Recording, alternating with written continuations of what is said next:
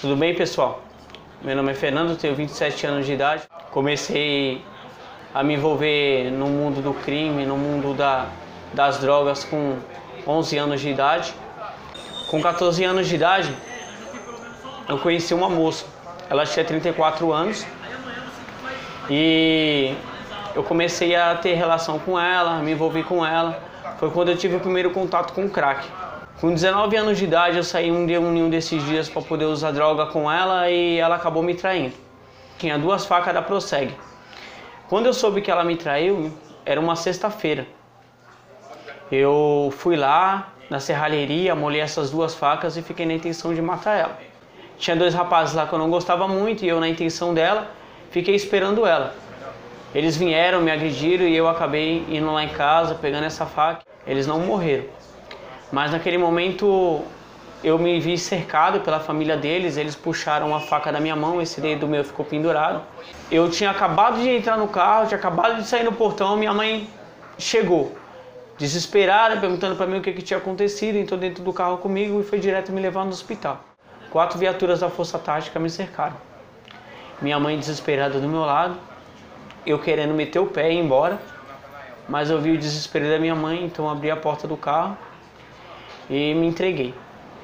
Minha mãe me apresentou um advogado muito conhecido, né? Eu trabalhei três anos para ele num, num, escritório.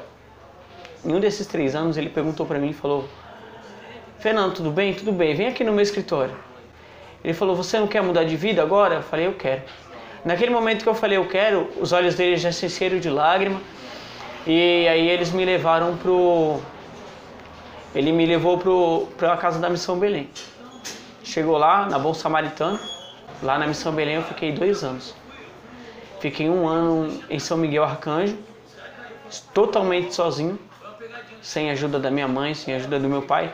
Caminhei com a presença de Deus ao meu lado. Deus me sustentando todos os dias, fazendo a minha adoração, sendo fiel ao texto, sendo fiel às coisas e querendo que Deus mudasse a minha vida.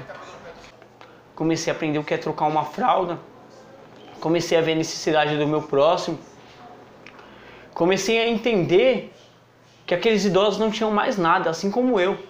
Eu não tinha mais nada, a não ser a misericórdia de Deus e no meu coração a vontade de querer ser os braços e a perna de cada um desses idosos.